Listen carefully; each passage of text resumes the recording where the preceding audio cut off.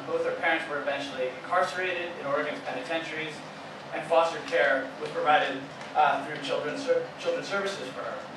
Following years of physical and emotional abuse, she graduated into teen pregnancy, homelessness, and the violence of gang life. Something happened after the birth of her second child, maybe she can tell us more about that, which really transformed her activism. Not only did the culture of her environment spark a desperate cry for change, as she put it in a bio that she's written, this is mine, um, uh, but an aerial perspective of her situation prompted her um, to begin a really critical analysis of uh, the possibilities for immediate change. Um, the first plan was to leave Oregon and raise herself and her kids out of uh, the chains of poverty, but here she is with us, thankfully, uh, doing some great work, and as she put it, the rest is current history in the making. So please help me in welcoming uh, these fine panelists, and Rick Burkhardt, your first up.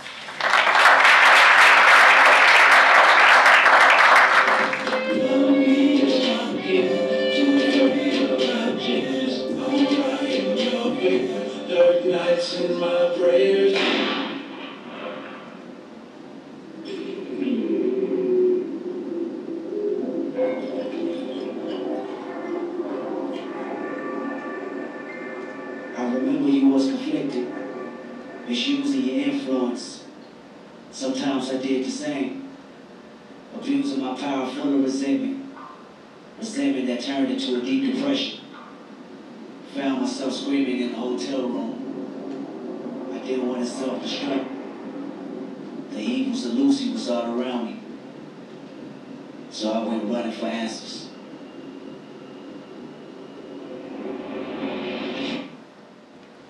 So, what that should tell you right now is that we understand everything that's in the factual, statual, and all that. We understand everything that you're teaching as far as all these numbers and all these figures. We even understand the stories of the people that we've never met that are relatives that are incarcerated.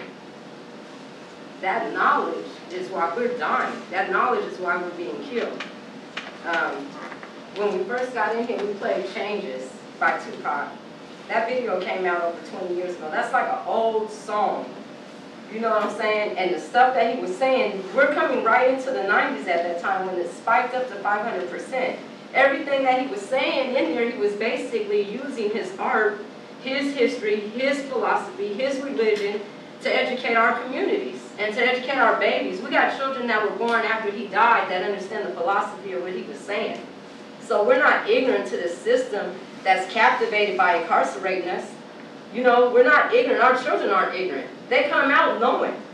And then people wonder why are we running from the police when they attempt to engage with us. They're wondering why we're not comfortable in class when people are try, trying to indoctrinate us with something that is creating a submissive situation to tell us that we have to act this way or be this way or live this way in order to be humane, in order to, to, to have any kind of value. Like the kids was just having fun playing in the streets, but people hate that. They hate the words that they were saying. They hate the way that they look. They hate the way that they, they, they spend time together. They hate that they breathe. They hate that. It's people, if we go back, if we go back to the 1600s, when we were brought over here, enslaved, we weren't slaves. We have language problems in this country too, even in our educational systems.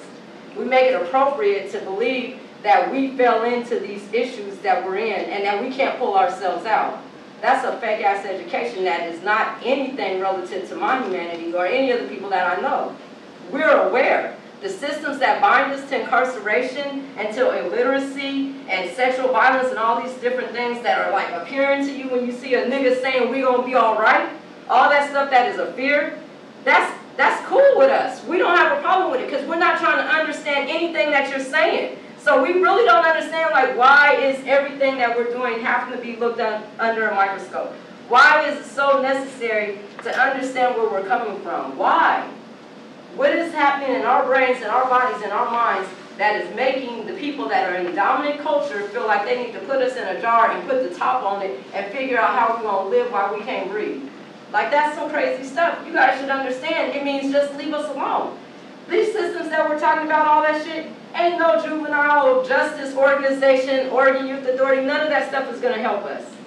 None of it's gonna help us. The only thing that's gonna help us, all the do-gooders that are out here, all the legislators that are out here, unless we use our power of citizenship, our own personal power, and we educate ourselves, we work together to understand policy, legislation, we elect our own leaders and all that stuff that we're working on doing right now, unless we go in there and bend the system to our will and dominate what we know is accessible to us, then we're not gonna be all right. But we're aware, so you know that we're all right, right? Like 2016, we own that. When you got candidates talking about Black Lives Matter and everything else, I'm just like letting you know, like, fuck the police. I'm not here on no Black Lives Matter, I'm not on here on no, uh, we can figure it out or we can wait for the system to reform itself. Fuck that system, I don't give a fuck about the system, I don't care. You know what I'm saying? I don't care about that system. I'm caring about what your consciousness is gonna do to help you understand that you just need to leave us the fuck alone. Let us live, stop, stop investigating us. You know, like, stop it. Stop it. Who does that to individuals? We're in America.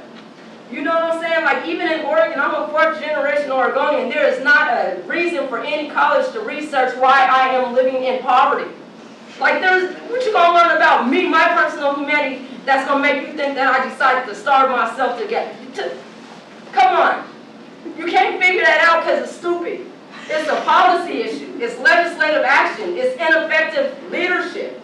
It has nothing to do with my mind. It has something to do with the complacency of the people that live in this industry that thrive from these numbers and these figures and all that shit. Fuck that shit. Leave that stuff alone. Leave it at the door. Look at people as they are. Accept them for who they are. Stop trying to figure out how to tolerate someone's existence that lives in the world with you. When I lived in Texas, I had a Texas accent, so I talked with some slang and some twang. When I came home, I had a different accent. Did, you don't have to figure out why my accent is that way. I'm an American. I speak lazy. I got a heavy tongue. You know? Stop it. We're putting each other under microscopes and we're all humans. Now I could understand like if you guys found like all these black people recently on a little small piece of the continent and then you brought us into society and was trying to figure out how you could help accommodate us. Stop! We can accommodate ourselves, we can manage ourselves, we can supervise ourselves. I had somebody tell me the other day that the funders are looking, the funders are watching. Watch what you're saying. Fuck the funders. Because if I have to obligate myself to submit to what you think is control, which is going to help me better my life, when we know that numbers don't lie, like your controlling system is not helping me. Your, your advice and your knowledge and your opinions and your policy and your description of what is going to make my life better based on your research is not helping none of us. It's not going to help our kids. Those are kids. And they know what y'all know and they ain't even been to college yet. They can sit up there and beat up any thesis that you put together. Because they're living it. So when people are living, you can't accommodate trying to understand how they living if you ain't lived in their life. If you haven't experienced their stuff. When I knew I was coming to a, what do we call this, liberal arts program, I wanted to understand the definition of liberal arts then I had to break down the whole breakdown of the language, why the five senses is relative to solving problems. Do you think that we don't know how to solve our problems? I can see, I can touch, I can smell. You know what I'm saying? Come on. Leave us alone. That's the biggest problem in this country is that we got to hold on to everything. We got to watch everything. That's patty rolling. That's overseeing. If you want to do anything about this whole movement or any of these inequalities or any of these things that we have going on, Start looking inside of how you're doing things. We have a gatekeeper mentality in this country. We have appointed leaders. You will pick somebody to represent who I am so that I don't offend you with my words. We had a meeting yesterday with the Attorney General on stopping mass incarceration, basically by ending profiling. I know Ellen.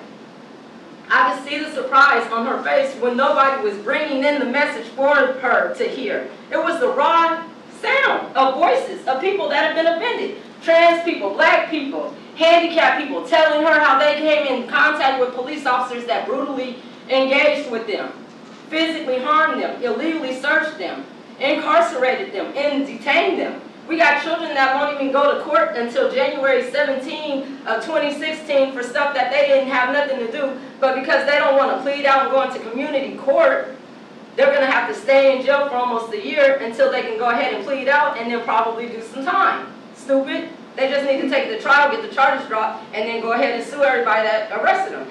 But nobody's telling them that. They're saying, okay, it's gonna be okay, we're gonna reform the system, we're gonna help you when you get incarcerated. You can't help me when I'm incarcerated, my life is over.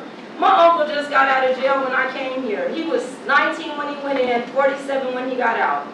He couldn't wait to go back in because all of that stuff that they're doing in there to make everybody feel like it's gonna be cool when you get to the real world. The real world ain't even accommodating the people without a jail, you know, uh, history, without a felony, without being incarcerated or disconnected from our, so, our society.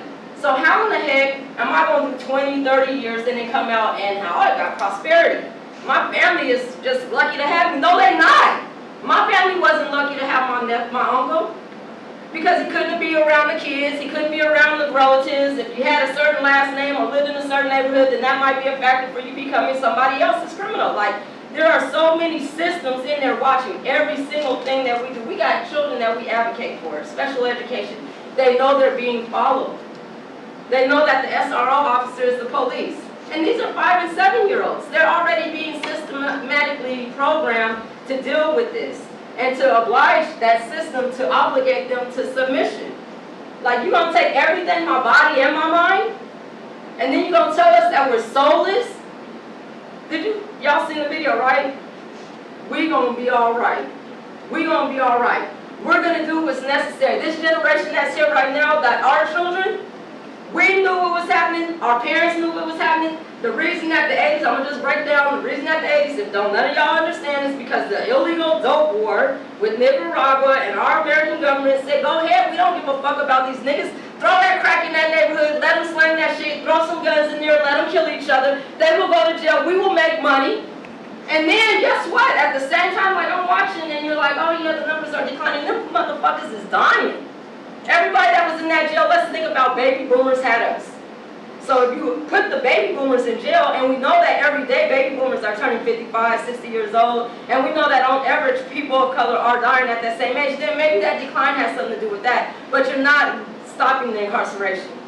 We're being incarcerated not only by our juvenile justice system and our education system and our prison system, but we're incarcerated by every system that has an opportunity for people that live in poverty to eat.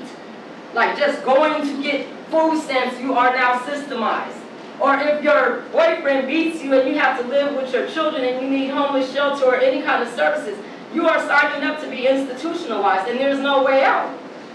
So if we don't want all this bullshit happening in our world, we have to break those systems. There's no reforming none of that. I'm not down with the abolishment of prisons either, but I don't want police in my neighborhood unless I call them. That's stuff that we can say on the record to an attorney general that will sit up there and go to this group and the group will say, yep, you're right, blah, blah, blah, blah, and then guess what? Policy will change. But ain't nobody saying that to the people. The neighborhoods I live in, the Urban League, the NAACP, all those organizations, they do not sit down and educate us on how to take direct opportunities to change policy. They don't talk to us, they don't have work groups, they don't have any of that. Because guess what? There's too many organizations and agencies that provide that type of outreach. But they don't do it for us. Victims assistance, that's how you bury your kids when they get killed on the street. If it's a necessity for somebody uh, that's a public official to come to the funeral so they can get more funding, we're propaganda. We're property, we're branding.